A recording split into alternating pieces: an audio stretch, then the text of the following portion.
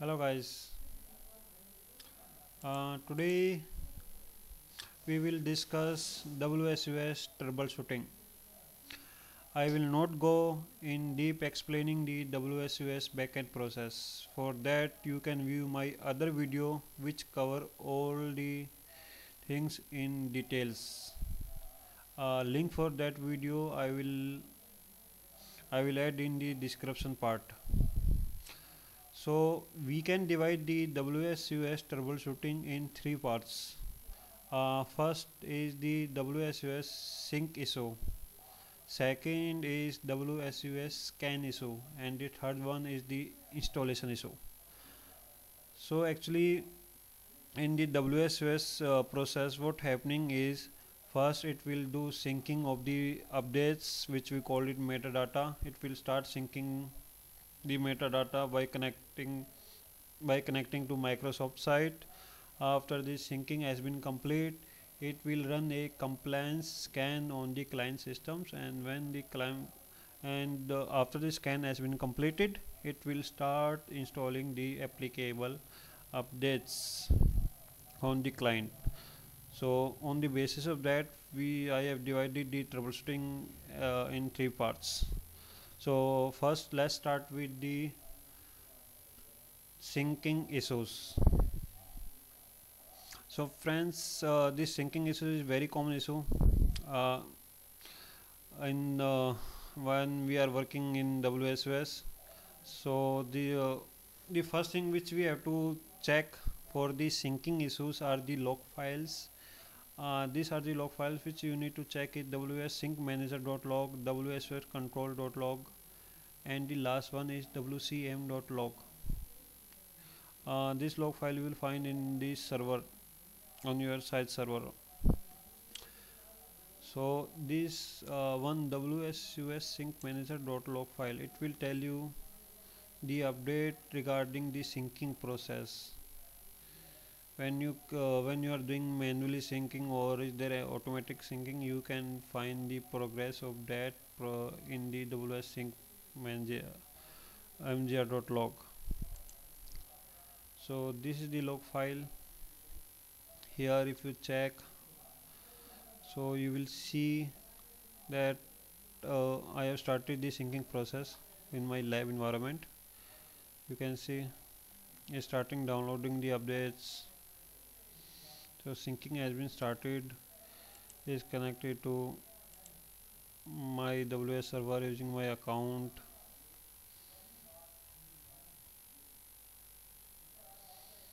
Hmm alright.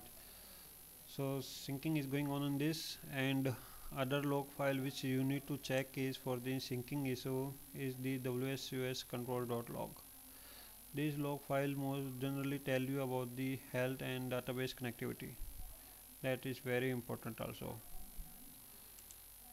Uh, here you can see that successfully checked database connection to WS server primary. There is no unld WS server component. These things also need to be checked if you are facing WSUS syncing issue. Last wcm.log this log file mostly uh, generally tell you about your SUP configuration what you have configured in your SUP your port settings and everything. So it is also important log file to diagnostic your uh, sync issue. Okay see here. Uh, this line attempting connection to local WSUS server and in the next line successfully connected to local WS server so it is uh, a important line. Is uh, simply telling you that it's successfully connect is successfully able to connect to your local WSUS server. If your syncing is failed it might be because of this one is also this reason also that you are not able to connect to WSUS server. So it is also important okay. So these are the three log files which you need to check that why your syncing process is getting failed. After this uh, the basic things which you need to check is uh, you should have a active internet connection and your WSUS account should have proper permission. Uh, proper permission means it should have sysadmin role. Uh, if we if we connect to our uh, SQL Management Studio if you go into logins you go into logins and uh, click on your account. And if you go to properties if you go to server roles it should have sysadmin role. So it is mandatory okay. And uh, other thing you need to verify is that there is no proxy and firewall conflicts. Other thing you need to check is your component. This is the component which actually trigger the syncing process. And copy the uh, data from WS database to uh, SCCM database. So you need to check the health of this component also in SCCM if I open my console if we go in monitoring if we come here in component status if I click on WSUS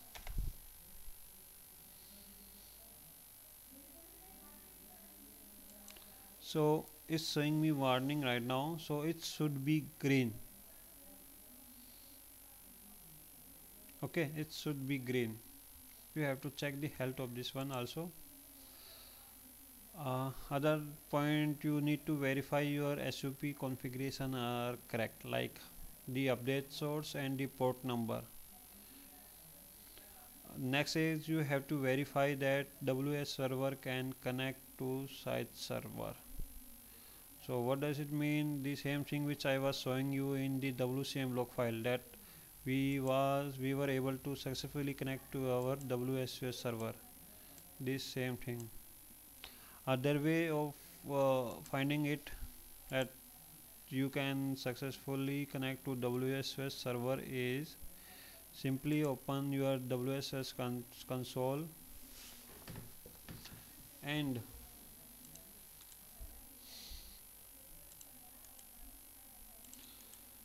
and try to connect to server. Give dfqdn it should be successfully connected. Yeah it's connected. So our connection between ws server and site server is fine. So the connectivity between the two should be okay. So we have checked this thing and the next thing is you have to verify a window update service and world wide web publishing services should be running on your WSUS server. So if I open my services so you have to make sure that this world wide web it should be running. And WSUS service it should also be running these two service should be running on your WSUS server. Uh, WS account should have sysadmin role uh, that I already told you. Another reason of the syncing failed is uh, the HTTP error 503 mostly in this error what we have to do is we have to go into the WSUS pool application pool in IIS and we have to increase the private memory in the advanced settings.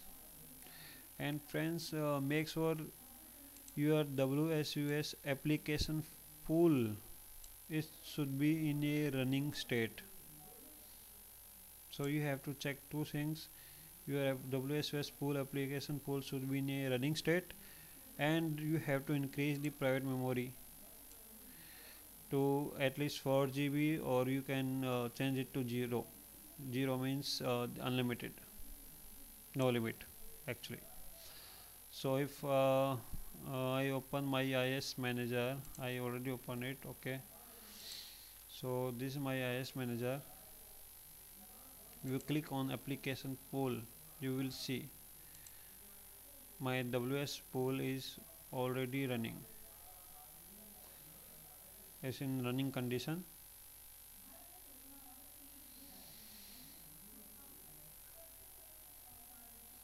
And if I go to advanced settings so you can change the length and the other thing you which you need to change is private memory you have to change it to at least 4 GB so private memory you have to check private memory and you have to check that poll is in uh, running condition. Okay. After this and guys uh, you also need to check that your default websites your default website and WS website is running should be running on your IIS so if I open again IIS how will you check that your website and WS website is running default and WS simply uh, click here and here you will see that it is in running condition. And if I click this one also it's also running so you have to check this thing that these things are running.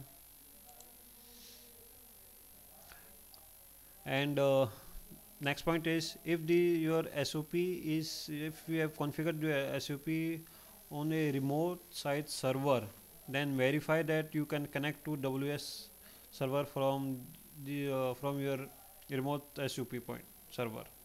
So again you have to verify the connectivity between the two and if you are using the SSL verify that certificate has not been expired. And in the last you can review the IIS logs that you will find in the C init log files. So friends for the first part for the syncing issue this these are all the points which you can do to fix your syncing issue. It will mostly fix your issues so now let's move to our second point scan issues. So as I told you after the syncing has been completed the the compliance scan will run on your client. Okay so let's me open my scan notepad all right. So what is happening after the syncing has been completed this scan will start running. And friends uh, let me tell you if your if your scan has been failed if your scan uh, has been failed on the client scan is not successfully completed then your client won't be able to see the updates in software center. And uh, also the site server won't be able to know the current uh, current uh, state of your uh, client or uh, your updates. So for so it's very important for the window updates that scan should be completed. Because after each uh, scan completion a state message will be sent to your site server. Alright so let's begin with the uh, scan issues uh, so friends uh, if you are working on a window 10 machine if you are working on a window 10 client machine uh, if you are troubleshooting on windows 10 machine so the I will advise you is to uh, use the window update troubleshooter to detect and fix the issue immediately. Because it will help you a lot for the windows 10 machines. And for the client machines you have to check the WA handler and the window update log files. There is one more log file but that is for the third part for the installation. If you are facing scan issues on the client these are only the two log files which you need to look into. Whandler and the windows update log file uh, another log file which you need to check is the location service dot log file. It will tell you that your uh, which uh, your client is getting which SUP at uh, which SUP server. So you can make sure by looking into location service that your client is getting the right URL of the SUP okay. So let's start with troubleshooting issues first you have to make sure that your window update service is running on the client. Check the service of window update it is running. Check for the pending reboot on the machine. Sometimes there are there are some pending report for the machine which need to be done. So check for the pending reboots uh, so next is you can stop the window update service and rename the C Windows software distribution folder. Actually friends this software distrib distribution folder is uh, like a temp memory for the software update which uh, which will be stored in software distribution uh, for the cache process later so when you uh, rename it or uh, delete it it will uh, create a new uh, new folder. It will create automatically create it again. And your scan issue can be resolved after this. Uh, check that you have active internet connection. Uh, verify that uh, the proxy setting on the client and is configured correctly to view the proxy settings you can use these commands. And if uh, the proxy setting are set correctly in any of the device inter any of the device internet explorer you can import it using these commands. Uh, next is verify connectivity between the WS with the WSS uh, computer. Means you have to verify connectivity between client and your WSS computer. So because during a scan the window update agent WA it has to communicate with the your WSUS computer. It communicate with client web service and SimpleAuth web service in order to continue the scan. So for so let's let's start with how will you verify the connectivity between client and the WSUS computer? Uh, for that you can check you can check the local registry of your client and you can find out what is the window update URL it is taking. This is the path to check the registry key. Uh, if I open it mm, yeah this one. If I open it you can see this is the uh, URL you can see this is the WSS server path http primary primary.arnet5 so it is correct. So on the client you can check the registry value this registry value to make sure that your client have uh, your client is getting the right WSS server with the right port. So you have to check the registry setting that you are getting the right address. And another thing for the connectivity connecting uh, for the connectivity issue you can try to access the URL these are there are the three URL which you can check for the connectivity. Like if I copy it uh, it's my uh, FQDN name of my lab. So if I open it uh, if I open it uh, so see it's working. First URL is working and if I connect to this virtual uh, virtual directory client web service if I try to connect to this virtual directory then again I am able to connect to it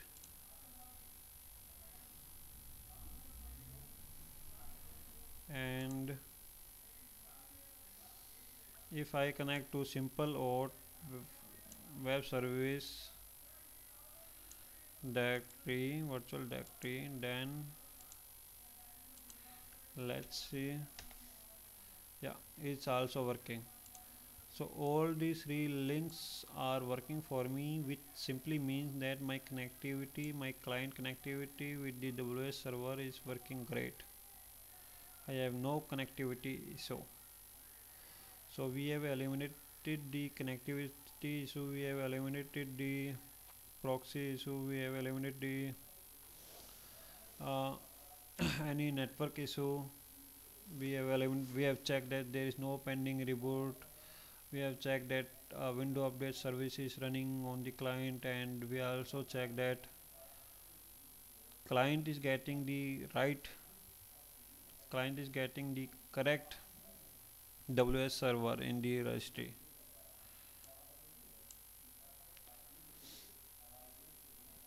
okay. If you are still getting the error and if you are still getting the scan error next uh, you can check the IIS logs on WS computer to confirm the HTTP errors are being returned from WSUS other thing which you can check is you can check for the name resolution issue on the client. Verify you can resolve the FQDN of WS so simply try to ping the FQDN of your WS computer and check if it can resolve the FQDN. Next is you can try to uh, you can try to check that the port are opened from the client. Means if you, you are using 8530 you have to check that 8530 is open from the client side. And how will you open uh, check that if I you have to open a CMD you have to do telnet uh, give the fqdn primary dot runlab dot com and give the port number 8530 and uh, enter so 8530 on my client is working. If 8530 is if there is any issue if, if there is any port issue then you won't able to see uh, this thing. You will uh, you will encounter an error when you will give the command. So you have to then check with your network team and ask them to open the uh, this 8530 on this client. Alright and if your WS computer if you have configured if you have you have configured your WSS with SSL then check the SSL configuration and certificate setting for WSUS website. And you also verify that group policy is not overriding the WSUS configuration. So it is also very important you have to check that there is no group policy in place which is overriding your SUP configurations uh, verify that there is no communication error. You, uh, you can uh, check that communication error in CcmMessaging.log client. It simply means that there is no communication error between client and the management point. So verify that thing. Also review the policy agent log file to check that client is able client is getting the policies and uh, other thing is make sure that the software update installation time is less than the maintenance window time. So these all things which you can check. And uh, where is my IIS manager? Hmm. And if I come here in the way if I show you this thing you can see is responding and if I come to bindings you can see you can give the port number here you can see the binding settings. And if you want to check that uh, which uh, port number is be you have given you can check here you have to come here site and site server roles you have to right click your SUP and here you can see that for the 8530 is being used.